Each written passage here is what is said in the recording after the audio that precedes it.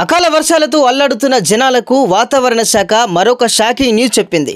మరో మూడు రోజుల్లో భారీ వర్షాలు కురిసే అవకాశం ఉందని అంతా అప్రమత్తంగా ఉండాలని హెచ్చరించింది. అంతేకాకుండా బంగాళాఖాతంలో మరో అల్పపీడనం రాబోతుందని చెప్పడంతో ప్రభుత్వాలు అలర్ట్ అవుతున్నాయి. ఇప్పుడు కురిసిన వర్షాలకి అల్లకల్లోలంగా మారింది. ఇంకా పునాదులు ఆరకముందే మళ్ళీ వర్షాలు పడితే చాలా వరకు పాత ఇల్లు కూలిపోయే ప్రమాదం ఉంది.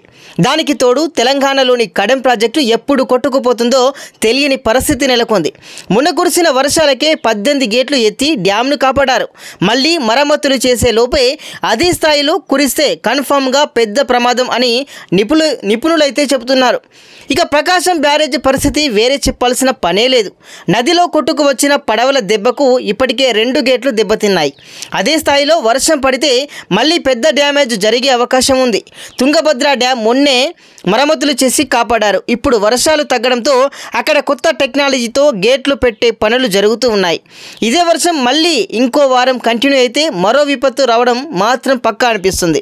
ఇక వీటి పరిస్థితి అలా ఉంచితే మహబూబాబాద్ నల్గొండ ఖమ్మం ఉమ్మడి గోదావరి జిల్లాలు గుంటూరు కృష్ణా జిల్లాలో అతలాకుతలమైంది. మళ్ళీ మరో అల్పపీడనం అంటే ఆ ప్రాంతంలో సామాన్యులకు మళ్ళీ కష్టాలు స్టార్ట్ అయినట్లే అవుతుంది.